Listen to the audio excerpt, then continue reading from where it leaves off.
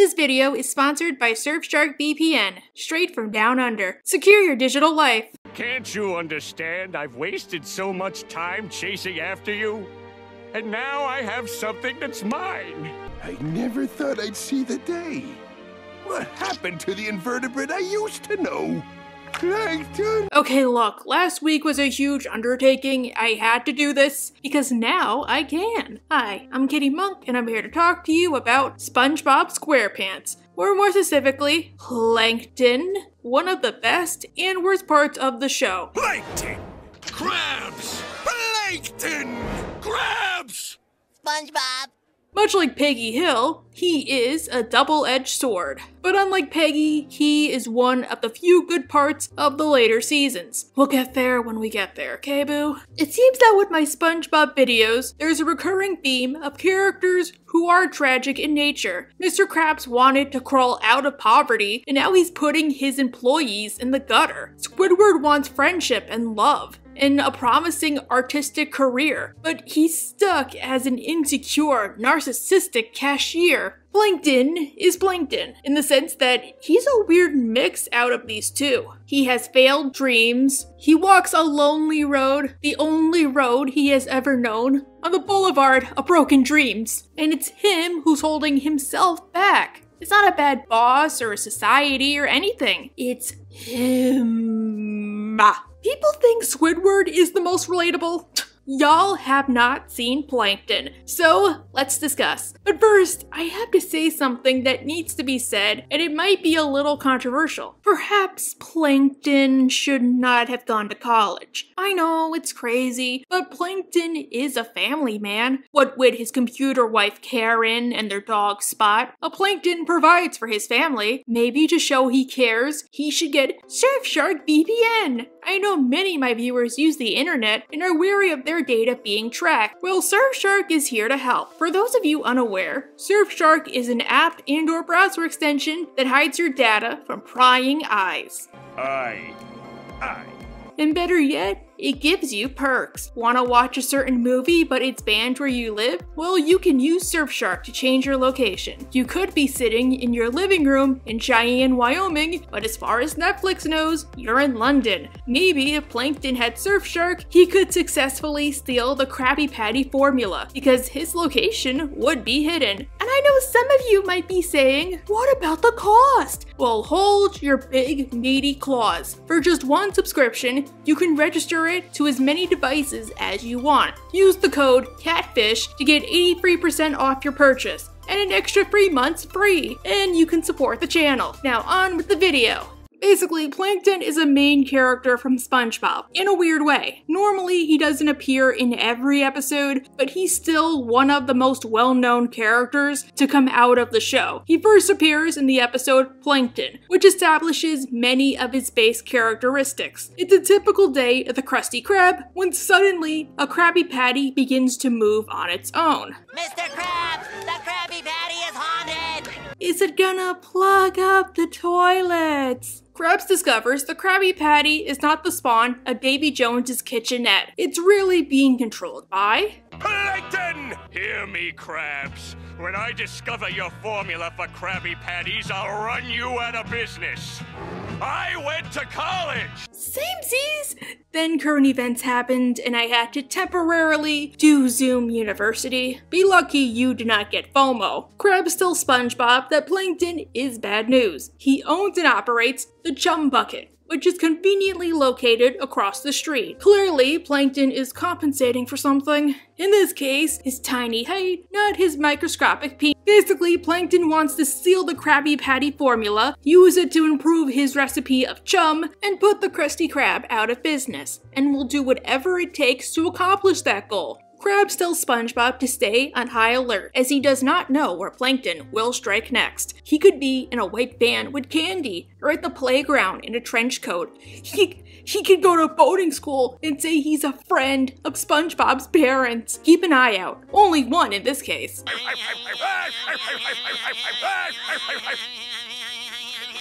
Enough, lad. It wasn't that funny. Get back to work! SpongeBob tries to go home that night while Plankton starts to sweet talk him. oh no, it's already started. SpongeBob, Budhead warned us about these types of people. You see them at school, and at PetSmart, and across the street on a rocking chair. They're groomers.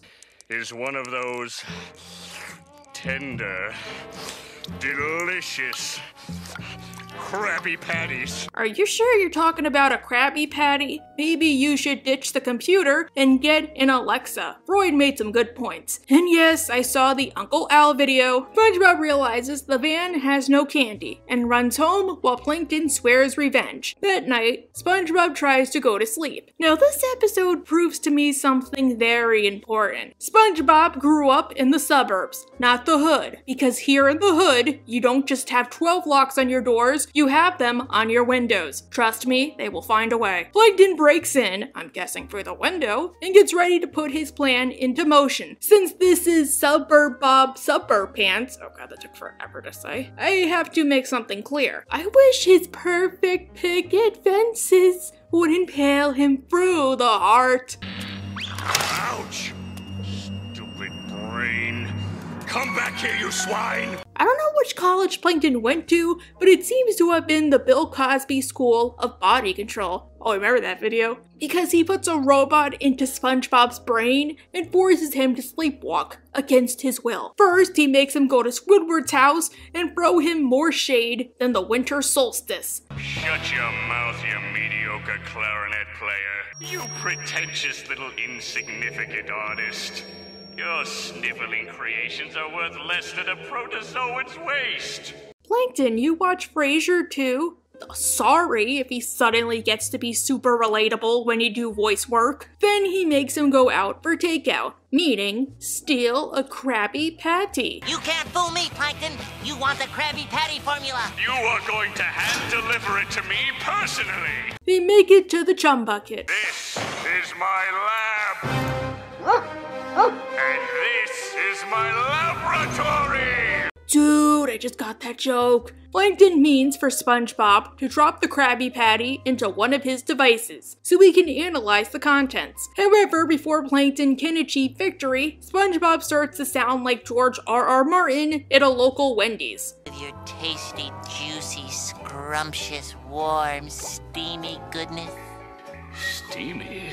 Dude, are you sure you want a Krabby Patty specifically to one up Mr. Krabs? In quick work, Plankton is stopped by his own hubris, and SpongeBob goes home. I'll settle for some fries.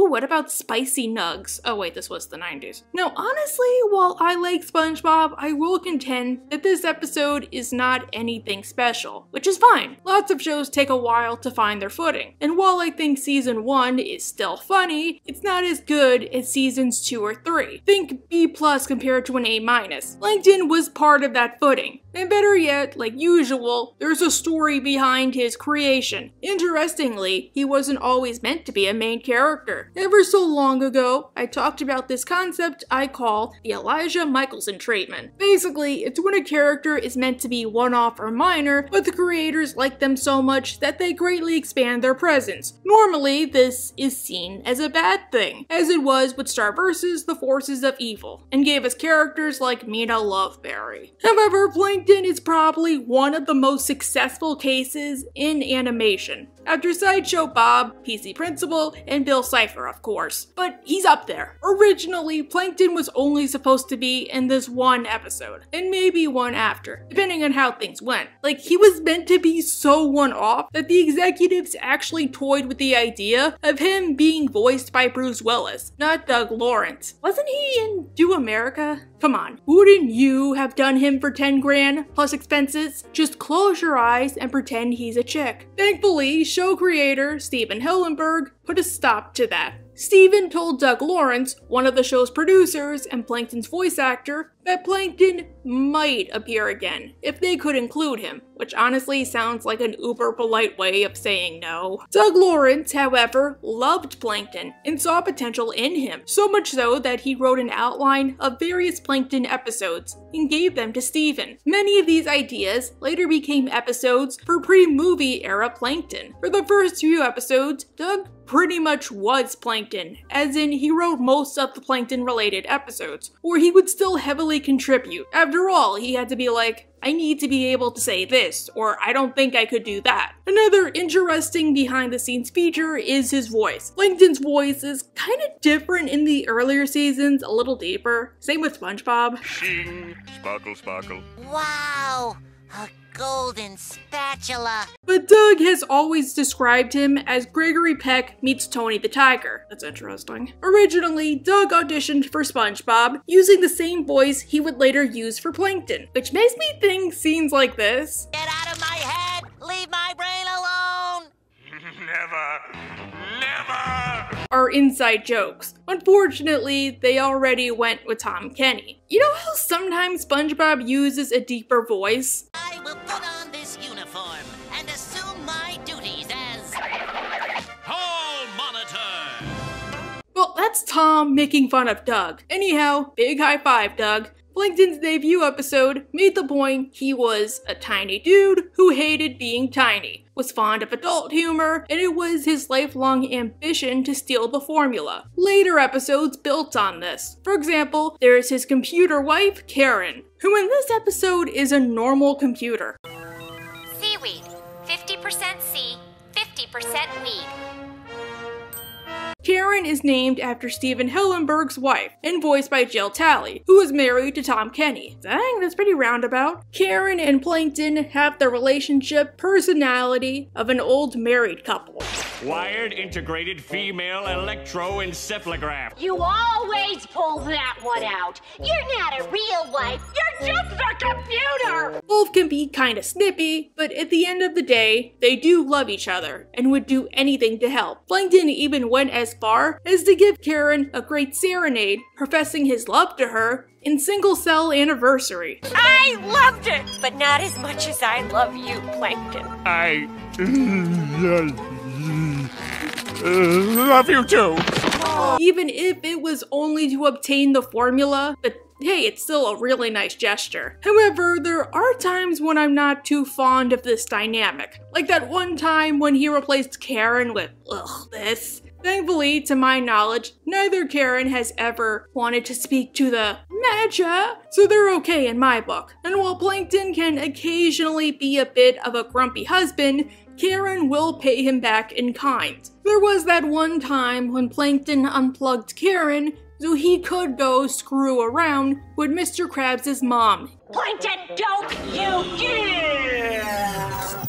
And now to woo that beloved creature. Ew. Thankfully, when she comes back online, she makes sure to return the affection. What did you say? Eh, eh, nothing. Yeah, that's what I thought you said.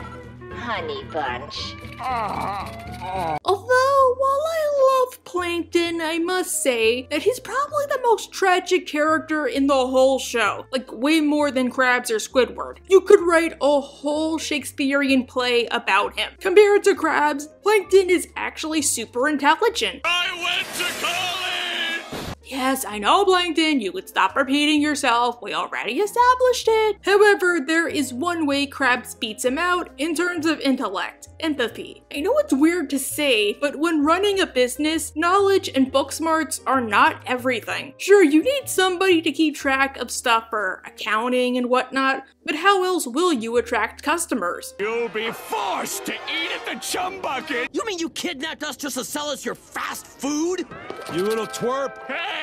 Except for the occasional episode, Krabs knows what people want when they go to a restaurant, outside of tasty food, that is. Food, water, atmosphere, Nobody goes to a restaurant for atmosphere. Well, sorry, I like to breathe, old man. Do you even know the secret cool guy handshake? Then there's their bond, or lack thereof. We learn in the episode, Friend or Foe, that Mr. Krabs and Plankton used to be bestest friends when they were children. As a testament to their bond, they were even born on the same day. Aww. Things were all peaches and cream. Both were outcasts, Krabs for being the Kenny McCormick of the town, and Plankton for being smart. In their spare time, the two frequented a restaurant called Stinky Burgers. Ew, I would never eat there. Even if neither could afford the food. And Stinky loved the kids. That's why we like you so much, Stinky. You always deliver the goods. Dude, this is a paid promotional video. I hate that I have to keep making these jokes. No wonder the restaurant closed. Anyhow, the two realized that making burgers earned the respect of bullies, and they resolved to do the same after Stinky closed by order of the health department. But Stinkies had been shut down by order of the health department. Yeah, okay. I know it's a kid show, I get it, I'll play along. Sadly, both feuded over who got credit and their overall ambitions. Krabs wanted to support the customer, Plankton wanted to take over the world. But what about satisfying the customer? Barnacles to the customer! I'm talking about ruling the world! Okay, that was an embellishment, but could you blame him even if I don't condone said behavior? Because honestly, world domination seems boring. I understand it. Plankton was bullied all his life. Is it any wonder he isn't so keen on helping his fellow classmates? To make matters worse, Krabs and Plankton's new patty unwittingly poisoned Old Man Jenkins. Well, one of them, that is. well, he is old. Hey, that guy's like family to me. This is bad news because he helped Mr. Krabs get clothes when his mommy couldn't afford them. It's a good thing old man Jenkins was kind enough to spare his last washcloth. Oops. I missed a spot. Yeah, but he gave you rags. How is he family in that case? I'm sure you could find something better at the Salvation Army. In a struggle, or rather a couple, they tore apart the recipe they had created. And as Plankton stormed out, a miracle happened. To Krabs, not to him.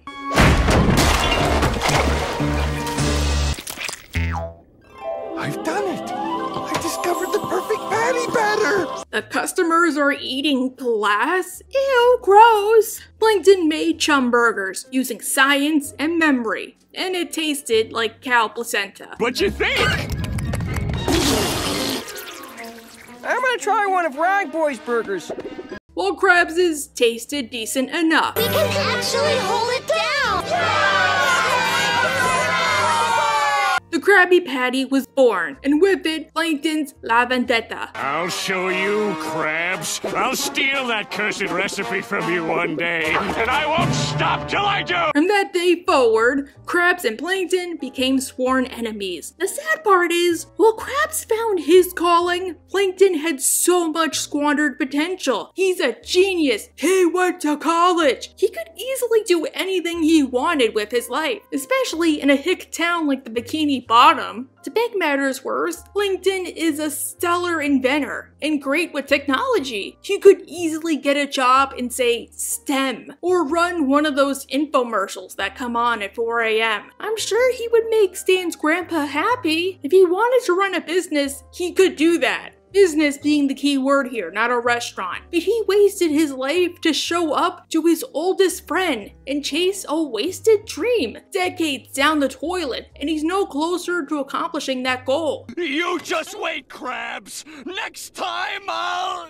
Yeah, who am I kidding? Damn, dude! Stop bumming me out! Kinda like Squidward, it's something we see all too often in real life, and it's absolutely tragic to say the least. He lives in squalor because he can't afford the upkeep. He has to eat holographic meatloaf. And he had to basically make himself a wife. At least Krabs has Pearl, not in a weird way, I mean, ew, but he has somebody living and breathing. Plankton has a cold, unfeeling computer which lacks an arm. To make matters worse, any progress he makes is only temporary, because status quo is a thing. And I'll get to that when I get to that. Then there's the fact we learn that Plankton is basically the one who made it out, which only adds to it. He's kind of like Nina from In the Heights, but way more likable. In Plankton's army, Plankton's plan to steal the formula fails for the millionth time, and he isn't able to get big tough guys to help him. I am endeavoring to misappropriate the formulary eh, for the preparation of affordable comestibles.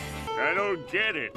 Maybe they all thought you were calling them stupid, Frasier. Thinking he can get his family's help, he calls them up, expecting them to be excellent henchmen and or partners in crime, only to learn he was the only member of the Plankton family who wasn't inbred. Hey, look here, buddy. It's Cousin Plankton. Yeah!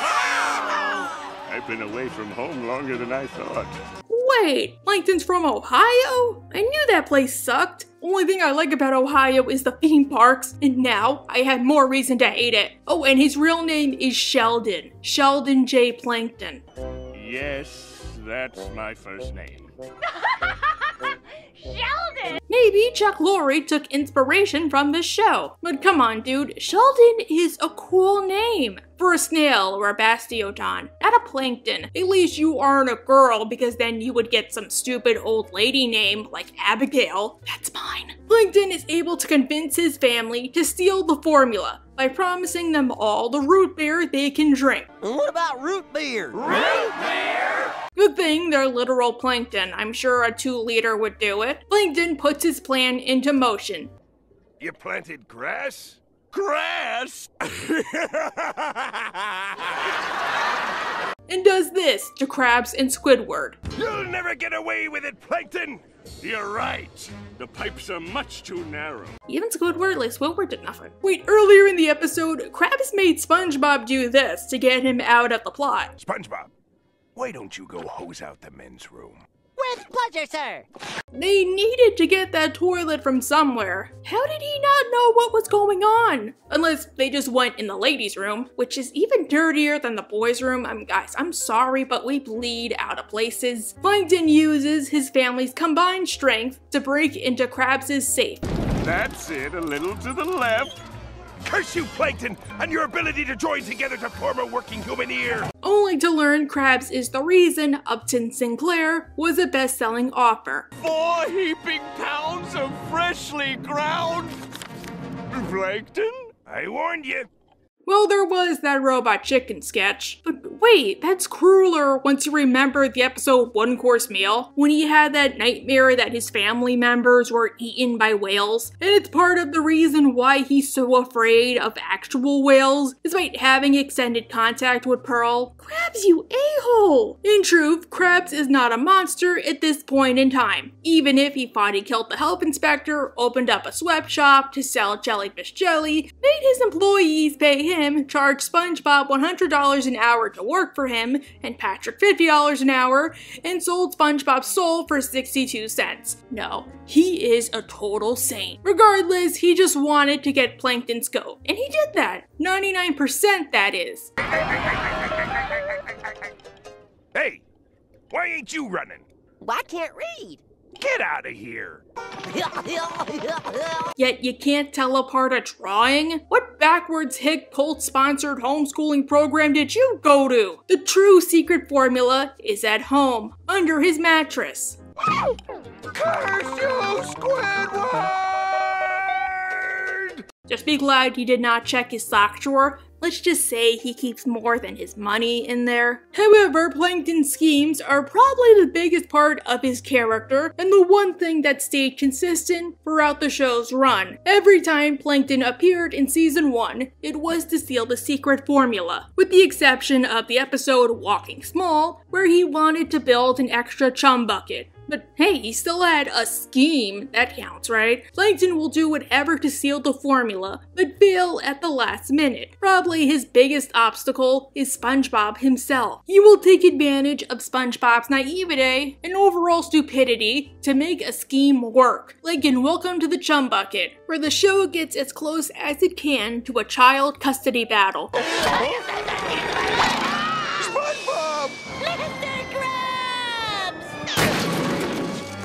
Plankton is the abusive daddy who wins, and he demands that SpongeBob better shape up and act like he loves him, or he's gonna kill him and put his brain in a robot. So get cooking. It's your choice, Bobby boy. You can either become a burger flipping robot, or you can have your soul sold for 62 cents. Karen says the best way to get to SpongeBob is to treat him with kindness. Plankton tries to spoil SpongeBob rotten, but Bobby Fletcher becomes more and more insufferable until an argument breaks out. No! Don't backsass me! What? That's it, mister. You just lost your brain privileges. Plankton goes with the robot option, but Robo-Bob Sponge Chef Pants. I put the brain in the robot, you know. That sounds like a flub Doug Lawrence made during recording and they just left it in. Hey, I'm not complaining, I do that all the time. I'm doing it right now. Anyhow, the robot is much worse than SpongeBob. Get welded. Wait!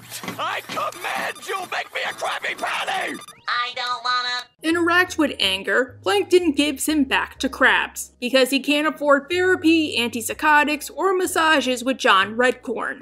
Ah! Or there's imitation crabs, where Plankton builds a robo crab suit to get the formula. Nothing stands between me and that secret formula now. Ha ha ha. Ouch. Unfortunately, Krabs foresaw Plankton doing this somehow and planned ahead, making SpongeBob do an elaborate song and dance to give him the formula. But we did everything you said. I followed all the rules. I even ate 105 black licorice jelly beans through a straw. That sounds like a euphemism. Before Plankton can get the formula, Krabs storms in and demands to know just what in the effing F is going on. How could you do this, SpongeBob? Giving me secret formula to this imposter! Unfortunately, SpongeBob is dumber than a bag of day old hamburger buns and doesn't notice Krabs somehow got an update and a new voice and he farts in public. I'm the real Mr. Krabs! Don't listen to him. He's obviously a robot. Dude, that last one should have been a dead giveaway. SpongeBob forces the two crabs to answer various questions to see who's the real one. And to make matters worse, he intentionally gives the real Mr. Krabs the toughies. If we're discussing the secret formula on the third Wednesday in January and it's not raining outside, after we gargle with vanilla pudding, what do we do? Uh, Paz? Oh, wait! SpongeBob! Give another chance! So long, imitation crabs. Bye bye. What a D word. I'm surprised SpongeBob still has a job considering how he almost killed his own boss. Now, I don't think I have some favorite scheme in particular, but there's some I prefer to others, if that makes sense. My favorite Plankton episode overall, however, is probably The Algae is Always Greener, simply because it's when I find Plankton to be the most relatable. Another failed scheme down the drain. So long, shrimp! Plankton doesn't like how his life sucks compared to Krabs. When am I gonna get some real food? Mr. Krabs gets to eat real food. Just look at his daughter. She's as big as a whale. I thought you were scared of her. Karen says that if he wants to know what Krabs' life is like so badly, he should reenact that Futurama episode from the final season, using a machine to find out how he would fare if he were in Krabs' shoes. Let's see here. No. No. Nope. Aha! Wait, Krabs can't wear shoes. I mean, there's a couple of scenes of him walking normally, but oh, I'll poof. Plankton switches lives with Krabs.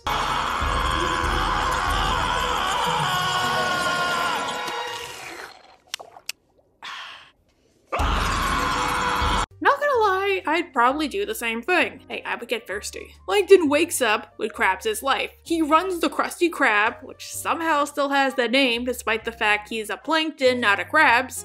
Mr. Plankton? He's got fame and notoriety, and he wears corporate casual. However, per the title card, the algae isn't always greener. Not just because of Man Bear Pig, courtesy of the always super serial Al Gore, but because Plankton does not have the patience Krabs has. Sir!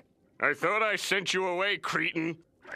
Just do what I do and spell out words in your head. Plankton can't have a nasty threesome with his patties just yet, because SpongeBob demands a weekly performance review. The sauce. I don't know. You're using too much sauce. Okay? Review's over. I relate to SpongeBob immensely in these moments. Stop reminding me of me! And he's even cheaper than Mr. Krabs. All he gives Pearl is a dollar. Go crazy. One dollar? You hate me! Yeah, Pearl's right. What is that even gonna buy you now? Shoe lint? To make matters worse, because he switched places with Krabs, Krabs now has his life. What? Did I say the secret word? Amazing, Larry. I love that movie. However, Krabs is even worse than Plankton. At least you can argue his kind are only meant to wear one or two things, if even that. Krabs looks like he just came back from Burning Man.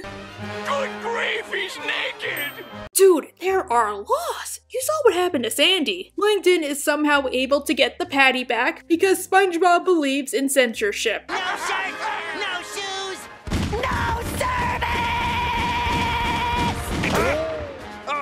you got me. Well, at least it's underwire. Oh, Krabs, you sly dog! You're totally putting toilet paper in there, aren't you? But he swears revenge. And as he's much too big to be blown through a straw, he gets to monologue. Even if I have to come back tomorrow, and the next day, and the next day, and the next day, and the next day, and the next day, and the next day, and the next day, Phone call, Mr. Plankton. and the next day, and the next day. Krabs, are you my sleep paralysis demon? It's not my fault Beetlejuice is on vacation to Rochester. Wait, where's the tour now? Realizing Krabs has it worse than him, Plankton goes home. It's not worth it. It's just not worth it. Goodbye, everyone. I'll remember you all in therapy. Sucks you probably can't afford it though. My second favorite is Krabs vs. Plankton, as it's a courtroom drama and I am especially fond of those. Except She-Hulk, but it did try. Plankton falls on the restaurant's wet floor and spurned on by a few customers, decides to sue Krabs for the Krabby Patty formula instead of actual money. Oh, the pain! I'll have to sue for my pain and suffering! Sue! Least you didn't pull a Lucky Kleinschmidt and slip on pee Then you'd get $53,000 never have to work another day in your life. Plankton puts on a full show and dance and seems to awe the jury. My dreams of completing a marathon like I promised my old Grammy have been dashed. I'm sorry, Graham Graham. Is this the same Graham Graham whose hair and clothes you stole? Now, one of the best parts of the later seasons was Plankton's schemes. They were like Mrs. Puff's boating tests. Usually good, but sometimes they overdip. Likely because Doug Lawrence was one of the few pre-movie show staff to stay on, his episodes were typically pretty good. He maintained his adult-type humor and sarcasm, so he could usually make a bad episode tolerable, or at least get a chuckle out of me. Like the episode where Gene Simmons guest starred, and he cursed out an entire family. Hey, you can't talk to my grandson like that. Someone ought to put you in a mental hospital. Someone should put you in a box floating down the river, Grandma! True, sometimes this could be somewhat tiresome, as many of his schemes were really out there or made no freaking sense, like someone's in the kitchen with Sandy. Plankton learns that Sandy has a pelt, and he pulls an imitation Krabs 3.0. You don't look so good. Hey, you gotta stop eating at the chum bucket. That stuff will rot your insides. Lies! Lies! The Chum Bucket will always be my favorite restaurant! Okay, for some reason, I actually like this moment. I don't know, maybe it's just corny nostalgia talking, but I still think it's hilarious. Because Squidward is apathetic, and SpongeBob is stupid boopid, Plankton wants to know how a Krabby Patty is made. Sandy, you're back! Yep, that Krabby Patty was so darn good, I gotta see how you make one. Use a mossy play? Don't you have somewhere better to be? I'm pretty sure Golden Girls is on at 8.30. It's so stupid and time consuming. Knowing how dedicated SpongeBob is, why would he give his close friend the formula? Why, you and me are closer than two catfish in skillet. Specifically prohibits the disclosure of the secret formula to friends, even when those friends are, quote, closer in two catfish in a skillet. At least with Mr. Krabs, he created the formula, and that's his boss, so the robot Krabs disguise isn't that out of the ordinary. Besides, previous episodes show that you could just walk up to the cash register, buy a patty, and go. One Krabby Patty, please. Or what about the time when he pretended to be SpongeBob's grandma? It's me, your dear old great Krabby boy. Cause suddenly she's really small now and she doesn't make cookies. Another tedious episode. Plankton is spending time with his grandma. Realizing he can go big bad wolf, meets Mrs. Doubtfire, and pretend to be an old lady, the formula is nearly his. My delicate digestive system has special needs, and I'll need to see a complete list of ingredients. Here you are. Thanks, Sonny. I'm just going to take it home. I left my bifocals there. Seems like a foolproof plan, right? Well, for some reason, he doesn't attempt this. Seriously, at least show it's stupid, like maybe he'd have to change tactics or Krabs catches on. Instead, he wanders around town and tells SpongeBob he has to go take a nap and Mr. Krabs is safe. I want to know all about your life, your job, where the secret formula is.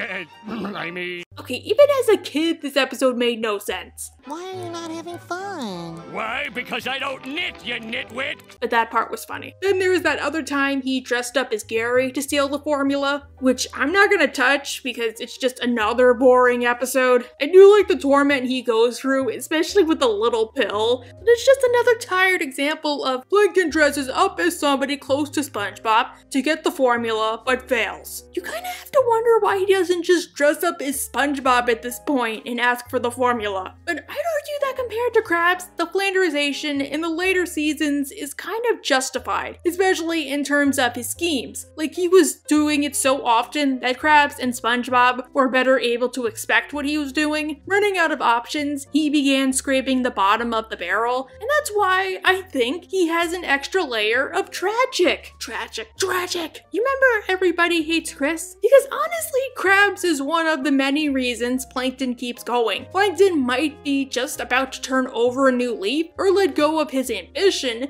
and Krabs is right there to keep him from the straight and narrow. Another self-fulfilling prophecy. In fun, SpongeBob starts to wonder if Plankton would be nicer if he had one extra friend. I bet if he had just one friend, he wouldn't be such a meanie. Which, not gonna lie, considering friend or foe, he isn't that far off the mark. SpongeBob invites Plankton out to Jellyfish Fields, but all he can think of is world conquest. All knees will bow to Plankton.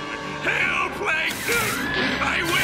Once he gets a little into the game, SpongeBob teaches him the fun song, and the two begin to bond. Wait, this is basically his debut episode, but remastered. People complain that the later episodes were rehashes. This is technically a rehash. Eh, the song is pretty good, I'll give it a pass. Now, many people, including those in and out of universe, think this was just a ploy for Plankton to steal the formula. Befriend the SpongeBob. Then, when the timing is just right, take the Krabby Patty. And it kind of was at first, because while it originally starts off as such, Plankton forgets about it soon enough. The only reason he continues the plan is Karen and Krabs. You're forgetting the mission. What are you talking about? You're going native, Plankton. Look at yourself. What? Krabs does not think Plankton is being friendly with SpongeBob out of pure altruism and runs down to the movie theater to warn him. Turns out he's right in a sense. He's deceiving you! Reach into his pocket now and take what he's got! SpongeBob feels betrayed, and Plankton is pretty upset himself. All right, it's true. I tricked you to get the Krabby Patty. But then you showed me friendship.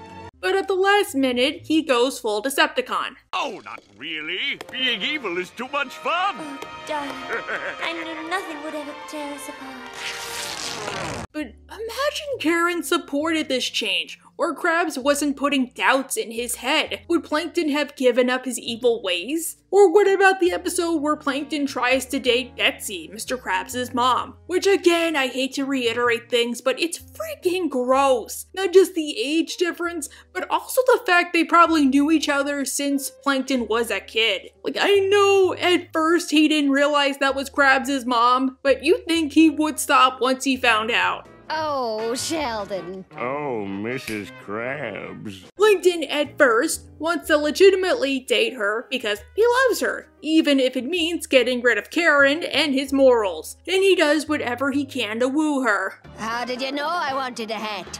Have you been spying on me?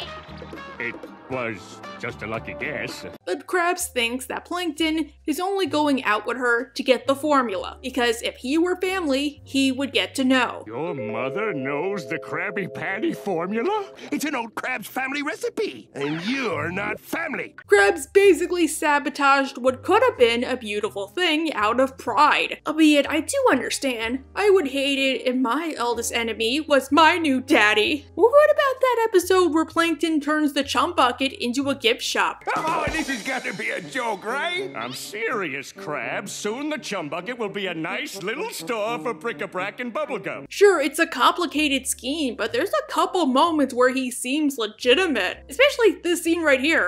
Yo. Uh, Plankton? Eugene? You still there? Yeah. I'm still here. Good. Like, imagine what would have happened if Krabs did not give him the formula. Of course, Plankton falls off the wagon and goes back to being Plankton. My diabolical, extremely convoluted plan worked! I never give you the formula! I fooled you with an even more convoluted charade! Dude, they're like Kyle and Cartman. Oh well, we can't all be paragons of loveliness like Mr. Krabs. Well, that was Sheldon J. Plankton. True, it wasn't his fault that life kicked him in the teeth, but it is his fault for how he responded to it. Plankton could have done something great with his life, but instead, he wallows away, trying to chase a wasted dream. It makes him not only relatable, but gives him an extra layer of tragedy. Thanks a bunch to Surfshark for sponsoring this video. I am young and female, but I'm not an easy mark. I might be swimming with piranhas, but I still need a shark. Alright, I get it! Well, excuse me, Mr. Impatient Sheldon Pants. That's right, I know your name is Sheldon, but if that's what you want, fine, I'll end the video.